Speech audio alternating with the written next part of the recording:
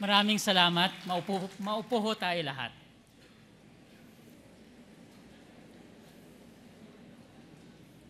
Mali ang timing nyo, no? Okay. The Honorable University Chair and founding uh, and founder, Mr. Jesus Benjamin Salvosa. The Honorable University President, Dr. Ric- Ricardo P. Pama. Members of the esteemed Board of Trustees of the University of the Cordilleras, Mrs. Nene S. Bauman, Mrs. Linda S. Sarda, and Mr. Jake B. Salvosa. Members of the Executive Council, those present, Attorney Ed- Erdolfo Balahadia, the President of your Alumni Association, Attorney Edilberto Tenifrancia, University officials present, college deans, faculty members, fellow teachers, fellow students, parents, families, friends, and fellow seekers of justice. I am honored by the perspective that you have given me today. Before me, rows of successful graduates, eager and hopeful. You deserve where you find yourself today. You are located by your efforts. These rituals mark the culmination of your initial sacrifices. By the measures established by your proud university and our educational system, you shall be endowed with and forever carry the credentials of your academic degree. As much as an achievement, your degrees signal capability, skill, and professional understanding. But we are shaped by our efforts as much as by our chosen environment. Your success has also been the function of many others' efforts. We owe a debt of gratitude to many, and it is not entirely non-appropriate for us to recognize them now. Your university is a cut above the others. The University of the Cordilleras believe that rearing young people through education develops moral character and promotes civic efficiency. The, persever- the perseverance and dedication to excellency by its faculty and staff had earned it some of its latest distinctions.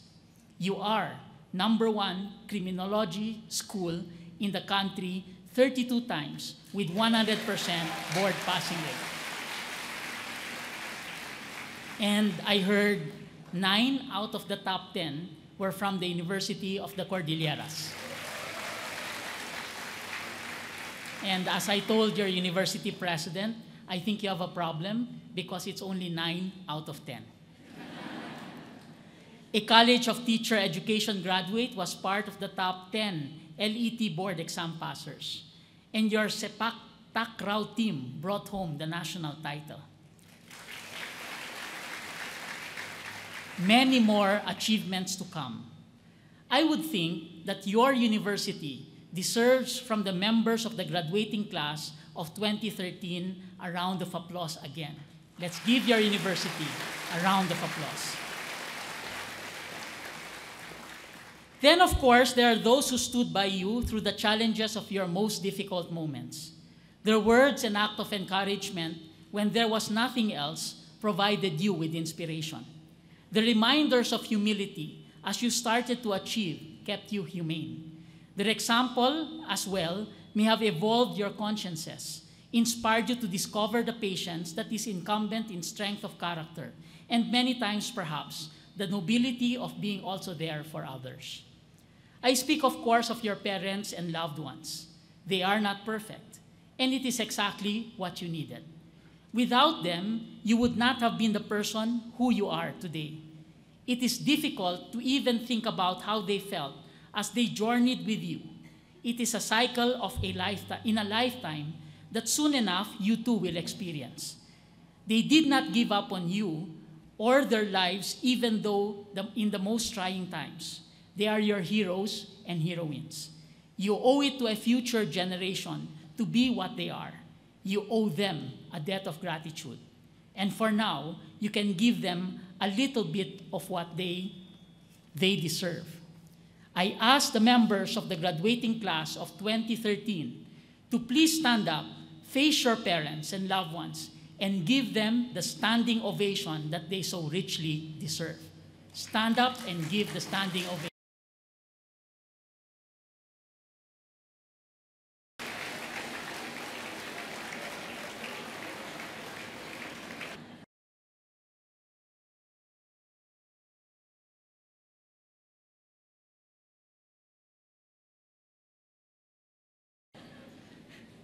Symbolically only, don't ask for support. there are many challenges before you. And this is a state this statement is a cliched understatement that needs to be said. What few, however, realize is that the decisions you, that you make to meet these challenges are made for you as much as you make them. The less you realize how these decisions are made for you, the less critical you become, and the worse off we end up as a community and as a society. Perhaps the better way to restate this is to say that there are ways through which you make sense of what may be happening to you personally and to your environment. One of these ways is by weaving the facts that you experience and become conscious of into narratives. We make sense of the events in our lives through the stories we create to be able to understand them more fully. We put them in context through a series of progression for us to remember as well as to enable us to situate ourselves and then, of course, survive. We assume that our lives can be coherent and that we live a purpose, even if for the moment we cannot discern it. We assume, as a matter of human faith, that our lives can have meaning. The peaks and valleys that we go through leads to denouement many times over, defining the many phases of our lives. To this extent, although we may have one physical existence framed by our mortality, we know that we can live through many lifetimes. But our stories, our narratives, are not entirely our own. Many of our stories are really metaphors, patterned after the dominant meta narratives of societies and the cultures we inhabit. In a sense, we borrow each other's stories because we are part of a community, a society, a culture. Our cultures embed generations of similar narratives patterned after each other. It helps us to understand our lifeways, to make sense of what happens to us. Cultures thus define us in a very powerful way. Sometimes we give, we give labels to our cultures, and sometimes we call this our identities.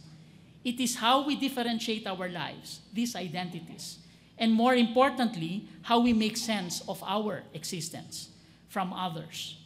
More than a label, it is a summary of who we are, a metaphor of our belongingness to a community and our exclusion from other communities. The dominant metaphor of the Bangsamoro, for instance, is that of struggle against the oppression caused by a misunderstanding of history. The dominant metaphor of the Ibaloy, the Kankanai, the Ifugao, the Kalinga, and many of our ethno-linguistic groups in our beloved Cordilleras is the assertion of our lifeways against the backdrop of the creation of minorities where there should have been none.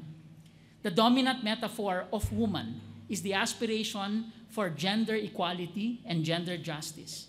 The dominant metaphor of youth as an identity is that of a fresh perspective and creative approaches against worn out but dominant traditions.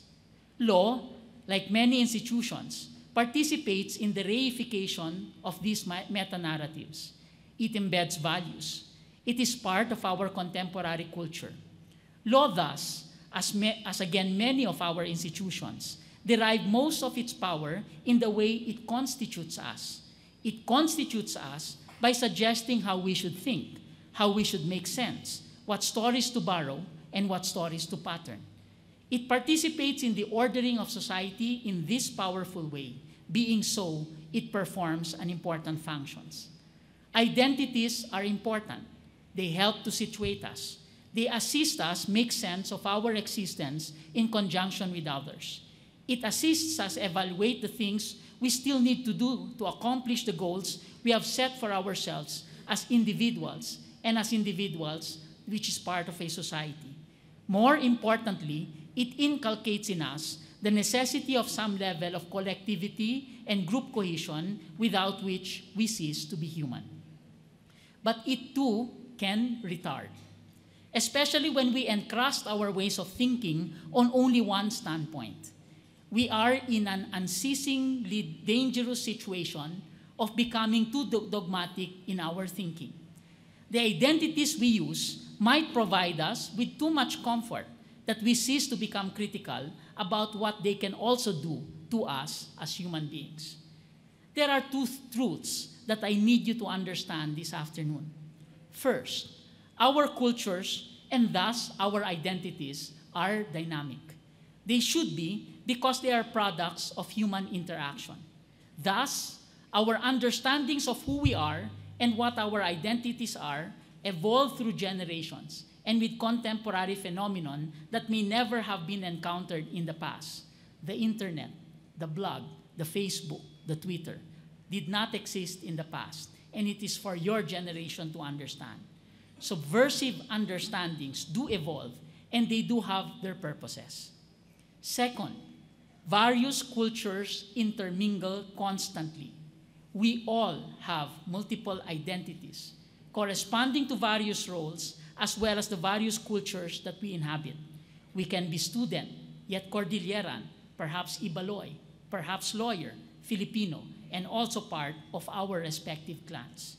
We can be gendered, male or female, or otherwise, or consider ourselves politically as conservatives, moderates, revolutionaries, reformers, or even perhaps just the fence sitters waiting for things to evolve. Sometimes it is essential that we focus on some of our identities and rehearse the language of its politics. Gayatri Spivak, a very well-known sociologist, referred to this as strategic essentialism. To assert more rights and correct history, we identify ourselves as indigenous peoples. To gain gender justice, we identify ourselves dominantly as male or female or various shades of belongingness to nuances of feminist or even the newer masculinist philosophies. To ensure that we can perform our professional roles, we dominantly live the life of lawyer, judge, justice, or some other profession. But this should be understood as only strategic.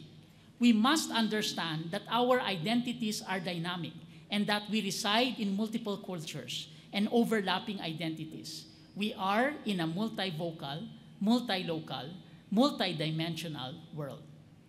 A philosopher once remarked that we can be judged by the kinds of questions that we dare to ask in our lifetimes. To those who want to conform, they simply will not ask any question. They just do what they are told to do, think the way they are expected to, to think. They live comfortable but uneventful lives. They may become rich beyond their wildest imagination, but I suppose at some point in their lives, they will look for more understanding of what their purpose really is. They will find that their lives, the lives that they have lived, will have lacked in nobility.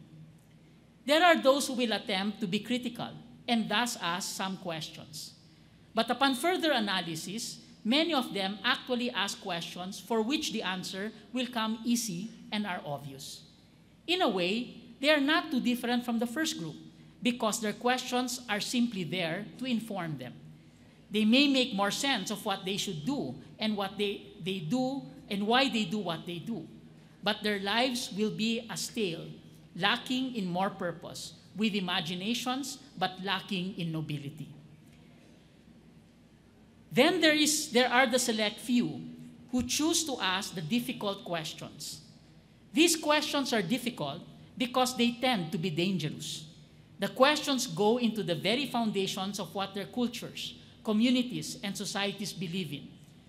They also tend to undermine, often undermine, what they have been taught to believe in various ways through the various institutions that impact on their lives education, the law, their society, their religion. The questions are variations of the imponderables. What are we? How do we know what we know? Are we sure? What are our lives for? What is my true role? How do I discover it? Why am I told to do what I am supposed to do? These are just some of the questions that should color your lives. Notice that these questions at various stages of your lives, especially at times when you are most materially secure, can cause you a lot of discomfort. But this discomfort is what ultimately will allow you to discover your humanity, even perhaps the nobility that will color your existence. Life, as you will know, it, it is challenge, it is discomfort, but it is also about patience, courage, discovery, and service. I share with you a poem by a great Native American warrior. His name is Tecumseh. The poem goes like this So live your life that the fear of death can never enter your heart. Trouble no one about their religion, respect others in their view, and demand that they respect yours. Love your life, perfect your life, beautiful, beautify all things in your life. Seek to make your life long and its purpose in the service of your people. Prepare a noble death song for the day when you go over the great divide. Always give a word or a sign of salute when meeting or passing a friend, even a stranger, when in a lonely place. Show respect to all people and grovel to no one. When you arise in the morning, give thanks for the food and for the joy of living. If you see no reason for giving thanks, the fault lies only in yourself. Abuse no one and no thing, for abuse turns the wise ones to fools and robs the spirit of its vision. When it comes your time to die, be not like those whose hearts are filled with the fear of death, so that when the time comes, they weep and pray for a little more time to live their lives over again in a different way. Sing your death song and die like a hero going home. That is Tecumseh. Do not therefore be afraid to do the work, to find the discipline to survive and to excel, to go through these challenges, these discomforts. Do not cheat or lie, most especially be true to yourself. Do not fail to build character. Do not fail to ensure that yours will be a life lived with integrity. Refuse to be dogmatic in any way. Re examine your identity, enrich your culture, ask questions, and live through the answers. Go forth, rebuild your world, give us hope, serve the people. Maraming salamat.